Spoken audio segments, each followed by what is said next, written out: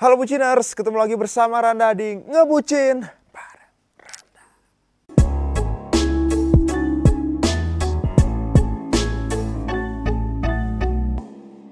Halo Buciners, apa kabar kalian semua? Semoga kalian semua dalam keadaan sehat ya. Buat kalian semua yang sedang tidak sehat, Buciners sama-sama kita doain semoga teman-teman kita yang lagi tidak sehat segera diberikan kesehatan kembali, dipulihkan kembali dan beraktivitas seperti sedia kala ya Buciners.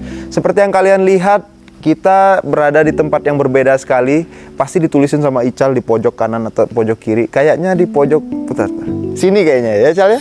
Iya kan? Di pojok sini kalian lihat itulah lokasi kita pada saat ini. Terima kasih untuk Asta Living Space di Cigadung ya, di Bandung yang sudah uh, mensupport acara bucin pada kali ini. Ini tempatnya enak sekali, kita santai-santai di pinggir ko uh, di pinggir lagi, di pinggir kolam renang. Terus uh, dengan pemandangan apa? Dengan udara yang sejuk, terus juga ada lampu remang-remang di belakang ini asik sekali buat kita ngobrol-ngobrolin apalagi masalah cinta ya. Apalagi sekarang ini Buciners pada kesempatan kali ini Randa membahas satu topik yang belakangan ini sedang viral sekali.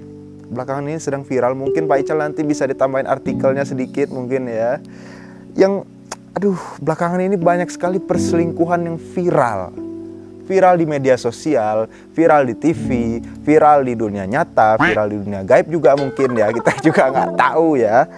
Namun emang eh, beberapa waktu ke belakang banyak sekali nggak um, banyak sih beberapa kasus uh, perselingkuhan viral dan itu mencengangkan. Mungkin ya kasus perselingkuhan itu banyak sekali, cuman kan karena terjadi pada public figure belakangan ini, jadi uh, hype banget gitu loh belakangan ini. Nah ini menarik perhatian Randa sebagai uh, Bapak Buciners Indonesia gitu ya dan tim Rias Randa Channel untuk membahas ini itu uap apa namanya embun embun.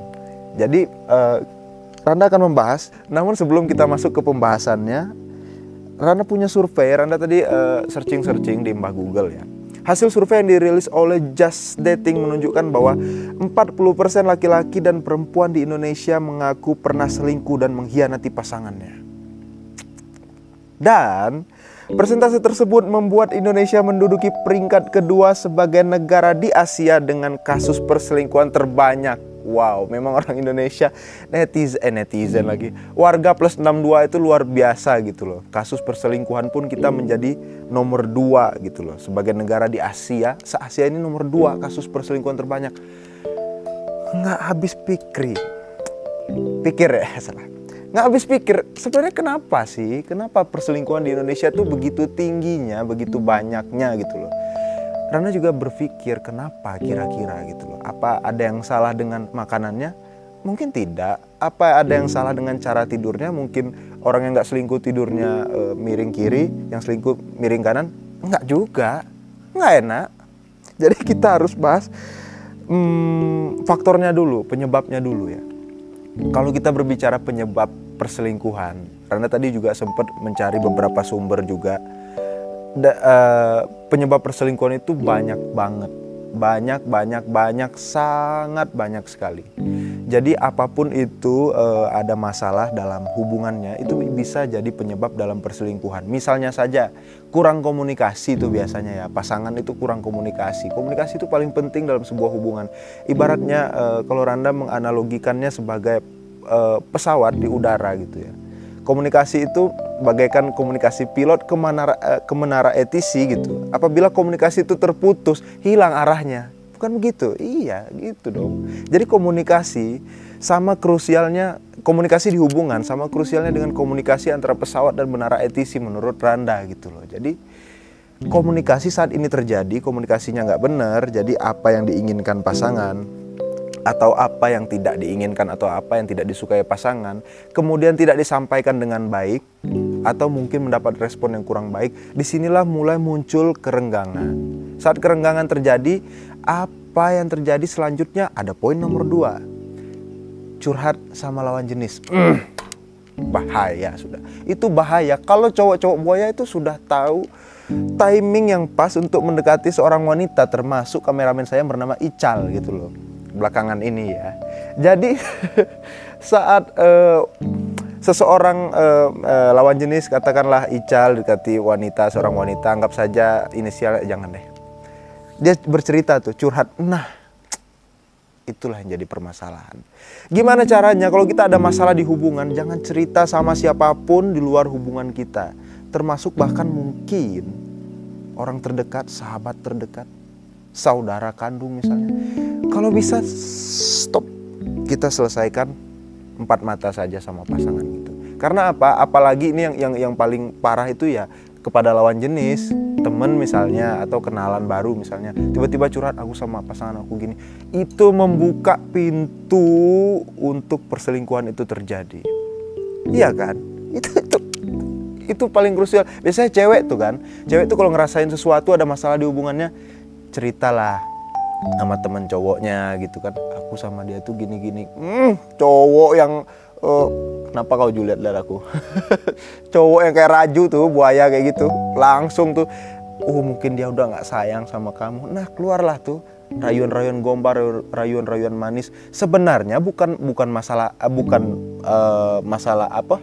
Bukan masalah bukan apa itu? Bentar cara mikir dulu cara hmm, bukan salahnya raju tapi salah yang curhat ngapain gitu loh? Ngapain curhat? Kadang-kadang itu tuh yang poin besar gitu. Kemudian banyak poin yang lainnya. Mungkin uh, masalah ekonomi bisa untuk orang yang udah menikah masalah ekonomi juga bisa menjadi salah satu penyebab perselingkuhan. Kemudian juga hmm, mungkin uh, menikahnya karena hmm, awalnya dijodohkan. Dijodohkan itu dengan dengan apa ya dengan paksaan gitu loh tanpa ada persetujuan itu biasanya zaman dulu banyak terjadi ya. Kamu nikah sama ini ibu kenal sama orang tuanya orang tuanya baik segala macam mana pasti baik kamu nikah blak. Terus pas nikah akhirnya tidak cocok dan lain sebagainya akhirnya menjadi penyebab perselingkuhan juga. Mungkin tidak bisa menerima kekurangan pasangan. Ego ego ego yang besar gitu loh. Jadi uh, dia tuh uh, mungkin uh, pasangannya sering sekali menuntut sesuatu atau mungkin pasangannya sering kali terlalu overprotective. Akhirnya dia merasa tidak nyaman. Akhirnya tadi balik lagi ke poin sebelumnya curhatlah sama orang. Balik lagi tuh curhat tuh. Curhat lagi curhat. Kok pasangan gue gini banget ya? Dia sama gue tuh terlalu menjaga terlalu overprotective terlalu posesif. Akhirnya apa? Ya buaya kayak raju tadi yang Randa bilang itu beberapa uh, cuma beberapa apa namanya penyebab perselingkuhan saja, masih banyak penyebab yang lainnya. Lantas apakah ini menjadi pembenaran? Apakah lantas banyaknya alasan tadi, banyak alasan, banyak penyebab tadi sehingga menjadi perselingkuhan, terus perselingkuhan itu dianggap wajar? No, tentu saja tidak. Tentu saja tidak. Karena apa kita berkomitmen, Bro? Lu sebagai cowok lu pinang cewek itu ya. Lu izin sama orang tuanya lu berjanji sama Tuhan gitu kan. Lu jaga terus lu selingkuh. Masalahnya tuh bukan ah bentar dulu itu ngerem dulu. Lantas karena banyak sekali apa namanya tadi uh, penyebabnya banyak uh, persentasenya tinggi sekali sehingga Indonesia menjadi negara menurut ini ya menurut survei dari Just Dating tadi ya uh, Indonesia menjadi negara kedua dengan angka perselingkuhan terbesar se-Asia, bayangin ya. Nah, dari kasus ini akhirnya Randa bersama tim Res Randa Channel, tim ngebucin bareng Randa, merangkum beberapa kiat untuk menghindari perselingkuhan gitu loh. Menurut yang kita pelajari, menurut yang kita rangkum gitu loh. Nomor satu di sini kita taruh menetapkan batasan menetapkan batasan seperti apa, terutama kepada lawan jenis. Ketika kita sudah punya pasangan, punya istri, punya suami, gitu ya, sama lawan jenis, kita harus tahu batasannya. Kita harus jaga interaksinya. Jangan terlalu ngobrol intens gitu. Misalnya kita di di uh, ranah kerja ya. Di ranah kerja saat ketemu ya obrolin kerjaan aja. Kalau di luar pun seandainya terpaksa ketemu, obrolin kerjaan setelah itu pisah di rumah juga nggak usah ngechat ngechat udah pulang belum? gitu. Oh udah nyampe rumah ya semangat ngerjain tugas. Ah nggak usah pakai pakai gitu ya. Itu sering kali kita lupa. Kadang-kadang kita terlena untuk tidak membatasi itu tadi menetapkan batasan dalam kita berinteraksi terutama sama lawan jenis gitu. Poin number two utarakan keinginan. Balik lagi seperti yang Rana bilang awal utarakan keinginan ya sama dengan komunikasi. Jadi apa yang sebenarnya kita inginkan kepada pasangan kita? Karena menurut Anda itu penting. Memang benar. Banyak orang yang bilang cinta apa adanya gitu. Benar maksudnya apa ya? Cinta apa adanya itu bukan berarti kita ada yang nggak suka akhirnya diam, memendam gitu. Akhirnya apa? Kita kehilangan respect sama pasangan kita, akhirnya kehilangan rasa, akhirnya kita berselingkuh kan gitu kan. Ada juga penyebab orang selingkuh itu karena katanya udah nggak cinta gitu. Kalau udah nggak cinta terus bisa selingkuh nggak gitu juga, buso nggak bisa, nggak bisa. Jadi utarakan keinginan kita. Seandainya ada sesuatu yang kurang pas atau ada keinginan kita kepada pasangan kita, kita sampaikan melalui komunikasi yang baik. Kita minta, baby, honey, sayang, biasa aja cal ekspresinya baby honey sayang aku mau kalau kamu selalu support aku saat aku bikin sesuatu untuk rancangan project aku gitu. misalnya gitu kan itu simple sekali banyak sekali yang lain jadi intinya adalah menyampaikan mengutarakan apa yang kita mau apa yang kita tidak mau nah kalau itu sudah di, dilakukan nah seandainya ada karakter di pasangan kita itu benar-benar tidak bisa dirubah, barulah masuk ke cinta apa adanya gitu. Kalau menurut Anda gitu ya. Tapi seandainya ada yang bikin kita dongkol, ada keinginan kita yang yang kalau tidak dilakukan itu bisa menimbulkan satu masalah gitu, lebih baik disampaikan. Setuju nggak Bu Cinars?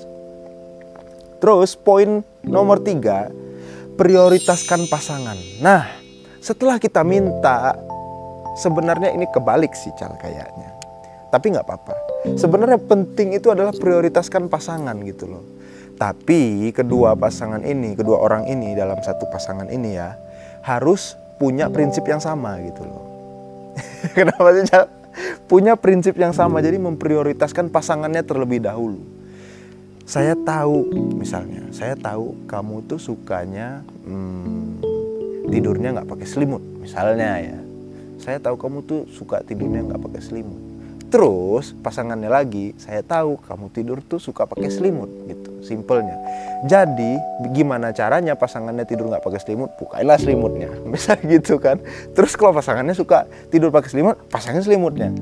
Itu hanyalah analogi saja ya. Jadi ibaratnya ya seperti itu. Kita utamakan dulu kepentingan pasangan kita dan pasangan kita mengutamakan kepentingan kita. Kalau ini terus dilakukan, ini akan menjaga hubungan itu sehingga tidak terjadi satu perselingkuhan.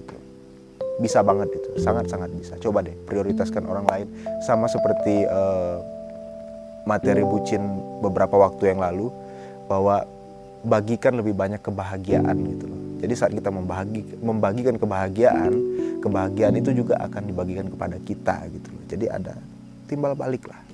Setuju nggak? Setuju aja lah. Next, yang selanjutnya Nah, ini poin terakhir. Ini poin terakhir, poin pamungkas dari Randa. Yang terpenting itu adalah dalam diri kita sendiri.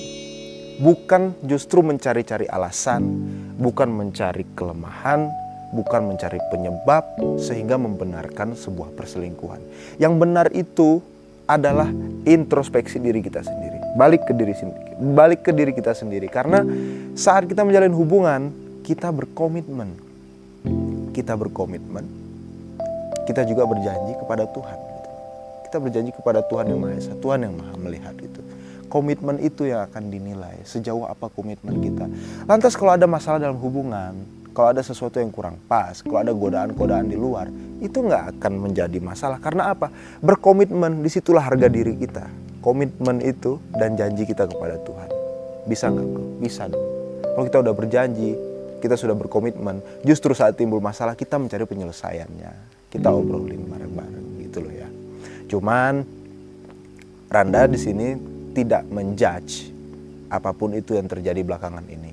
Randa nggak berhak untuk menjudge karena banyak sekali uh, sudut pandang, banyak sekali kejadian-kejadian, banyak sekali peristiwa-peristiwa yang memang kita nggak bisa lihat dari satu sudut pandang. Namun menurut Randa poin yang terakhir ini adalah poin yang paling penting dalam pembahasan kita kali ini yaitu ingat bahwa semua itu adalah kita yang mengontrol komitmen yang kita pegang, janji kita kepada Tuhan, janji kita kepada pasangan, tanggung jawab yang kita emban, itulah yang bisa menyelamatkan kita dari sebuah perselingkuhan. Oke buciners, sepertinya uh, pembahasan kita batas ini dulu saja karena pembahasan ini cukup berat ya. Randa tidak bermaksud untuk merasa paling benar juga. Randa juga tidak bermaksud untuk menyalahkan 100% apa pun itu yang orang lakukan. Karena apa pun kejelekan yang kita lihat, pasti ada sisi baik di balik seseorang. Bagaimanapun dia berlaku menurut eh, mayoritas manusia, jahat banget nih orang, kejam banget nih orang. Belum tentu, pasti ada sisi baik di hatinya dan Randa itu percaya gitu loh. Dan kita berharap semoga nomor dua se-Asia tadi angka perselingkuhan ini bisa turun gitu loh. Bisa jadi nomor 5 kayak bisa jadi nomor 10. Jangan nomor dua lah, terlalu tinggi. Indonesia terkenal dengan perselingkuhannya itu kan nggak lucu juga gitu loh ya kan Cal ya. Jadi mungkin itu saja yang bisa Randa sampaikan. Kesempurnaan itu hanya milik Tuhan ya kita manusia memang penuh kesalahan gitu. Terima kasih banyak Buciners atas waktunya. Terima kasih sudah menonton video ini dari awal sampai akhir. Kalau kalian suka, kalian tekan tombol like-nya. Kalau kalian juga suka dengan pembahasan ini, suka dengan Bucin, suka dengan Rias Randa Channel, kalian tekan aja tombol subscribe tuh, kalian tekan karena itu gratis. Nanti tekan juga tombol lonceng notifikasinya. Nanti kalau ada video baru dari Rias Randa Channel, kalian akan dapat notifikasi dan tidak ketinggalan. Terima kasih banyak sekali lagi sampai ketemu di video selanjutnya. Bye bye.